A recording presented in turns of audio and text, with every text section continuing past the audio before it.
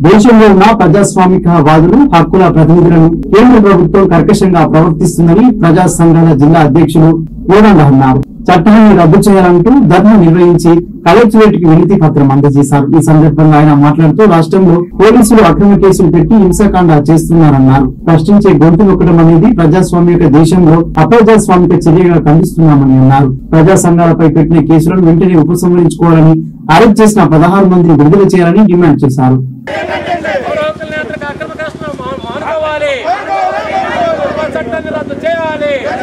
ప్రజాస్వామిక అక్రమంగా అరెస్ట్ చేయడం మానుకోవాలి.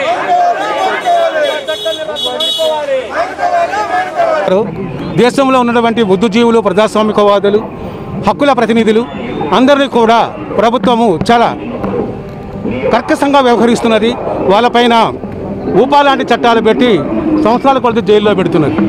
రీసెంట్గా రాష్ట్రంలో ఆంధ్రప్రదేశ్లో విశాఖపట్నంలో విశాఖపట్నం పోలీసులు అయితేనేమి అలాగే గుంటూరులో పిడుగురాలు పోలీసులు అయితేనేమి చాలామంది మీద పౌర హక్కుల నేతలు పౌర హక్కుల యొక్క జిల్లా రాష్ట్ర కార్యదర్శి అలాగే అధ్యక్షుల మీద అలాగే పీడిఎం పీడి పీడిఎస్యు అలాగే ప్రజా కళామండలి కుల నిర్మూలన పోరాట సమితి నాయకులపైన అక్రమ కేసులు ఊపా లాంటి కేసులు పెట్టి ఎఫ్ఐఆర్ రాయబడింది.